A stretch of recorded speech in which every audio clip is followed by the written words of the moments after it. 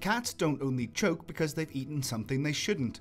AnimalWised explains the main reasons why your cat is choking and what to do about them. Upper respiratory tract infections. These types of infection are characterized as being highly contagious as they can be easily transmitted through secretions. They are common in young kittens but can also affect cats with leukemia or some type of immunodeficiency. Stressful situations can exacerbate the issue, such as living in a cattery or as the result of a surgical operation or illness. These infections usually result in discharge from the nose and eyes, with sneezing, fever, lethargy, or weight loss. Loss of appetite is common because their sense of smell is affected and mouth ulcers can make eating difficult. Upper respiratory tract infections can cause the cat to cough with a choking sensation and to leave their tongue hanging out to try to improve respiration. The sooner treatment begins, the better the chance of recovery. If left untreated, these cats can end up dying. It's essential to take the cat to the vet as soon as possible. Feline asthmatic syndrome. Asthma produces bronchoconstriction that causes laboured breathing, choking, or other breathing difficulties. It can also be accompanied by fever, lethargy, and anorexia, either due to secondary bacterial infections or due to choking and coughing that make it difficult to ingest both liquids and solids. Treatment will depend on the severity and the frequency of the symptoms, and, as always, should be prescribed by the veterinarian. Antibiotics may be necessary to treat secondary bacterial infections.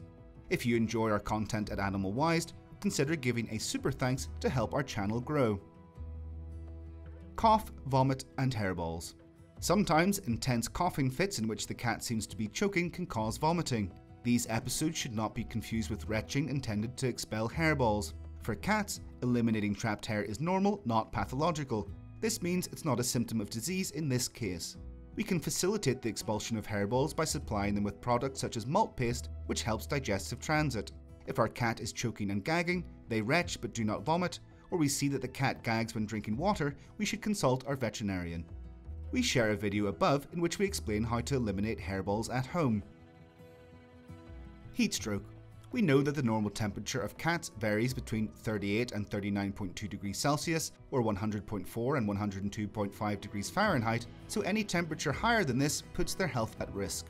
Although the main cause of heat stroke is prolonged exposure to hot temperatures, poor hydration or locking the cat in a confined space can be contributing factors. If we notice the cat is coughing and choking, they may be suffering from heat stroke. Symptoms are excessive salivation, tremors, staggering, and weakness. In this situation, the most important thing is to go to the vet immediately, but it's also good to consider some first aid. For example, we'll have to take them to a cool place and apply cloths with fresh water, among other recommendations. To know what these recommendations are, check out the next info video above. Hypertrophy in cats. It is the most common cardiac disease in cats and causes many deficiencies in our cat's circulatory system. Although some of our cats may be asymptomatic, when symptoms of hypertrophy do appear, they can include open mouth breathing, laboured breathing, lack of appetite, apathy, depression, and rigid paralysis. In this case, we'll also have to take our cat to the vet so a professional can make a suitable diagnosis. If you want to continue learning about cat diseases and veterinary advice, don't miss the playlist we share here. Do you have an experience of your cat choking that you want to share? Do so in the comments if so, and we'll see you next time.